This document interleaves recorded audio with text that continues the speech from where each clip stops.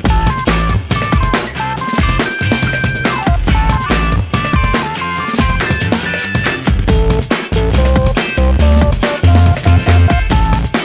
Con nuestros amigos Mario y Pablo del grupo Camila. Bueno, más bien del dúo, del dúo. ¿Cómo están chicos? Primero que nada, bienvenidos aquí a Texas. Estamos muy contentos de tenerlos aquí con nosotros. ¿Cómo se sienten? ¿Cómo nos trató el público?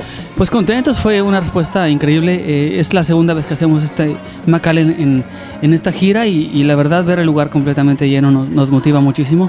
Eh, la gente eufórica, queremos volver. Se hablan muchos dimes y diretes entre, no, es que Mario se peleó con Samo y que por eso lo corrió y que no sé qué. No, pues yo creo que hay, momentos donde ya este donde él, tenía ganas de hacer un, camino solista y, lo respetamos, lo apoyamos. Este, nos dolió que se haya ido, pero no podíamos tampoco detenernos y dejar a la, agrupación. Teníamos, eh, tenemos canciones. en, mi caso, soy un compositor que no paro de escribir. Y como, y como ella se casó con, con Edward Collins, yo también tengo mi, mi, yo también me quiero casar. Entonces yo me voy a casar con Natalie Portman el día de hoy. Así que ante todo el público que me está acompañando, quiero decirte, Natalie, ¿quieres ser mi esposa? Todo un éxito total. Bueno, estuvieron en los premios latinos, también estuvieron también en premio Lo Nuestro a través de Univisión. Y bueno, ¿cómo se sienten? También estar ahora en, Noticias 48.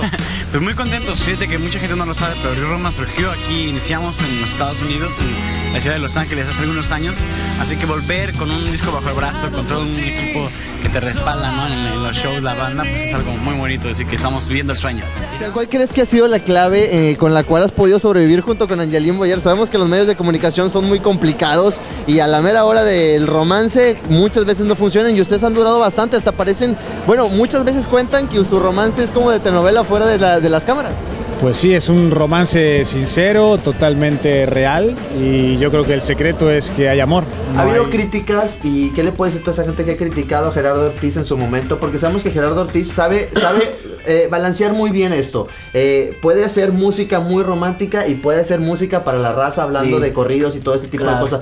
¿Qué le puede decir a toda esta gente que critica esa parte en la que, bueno, eres un poquito más raza con los corridos y todo eso y que a veces dice, ¿sabes qué? Eso no, hay lugares en México en los cuales no, no se los permite ¿Cómo, lo has tomado tú y qué le dirías a esas personas que no están de acuerdo? Pues este, eh, la verdad que tengo que tengo que mencionar que los corridos han, han tomado mucha fuerza, ¿no? Han tomado mucha fuerza y, el mundo pues no a, la humanidad no le puede tapar los ojos. ¿Qué siente Banda MS de ver, por ejemplo, el tema Solo Converte que ha llegado a los primeros lugares y se ha mantenido semana por semana? ¿Cómo lo, cómo lo siente? Le tuvimos mucha fe ese, ese tema cuando nos mostraron, decidimos grabarlo, le tuvimos muchísima fe, lo sacamos a corte y... Eh, Lupe, platicamos en alguna otra ocasión de, que Bronco ha tenido, por así decirlo, que un sub y baja, ¿no? Primero fue hasta arriba y después bajamos un poquito y ahorita vamos otra vez para arriba. ¿Tú qué ¿Tú qué crees a qué se deba eh, este cambio eh, en la música, la piratería? Platíquenos sobre Yo creo que los tiempos, los tiempos han traído a, Bronco así.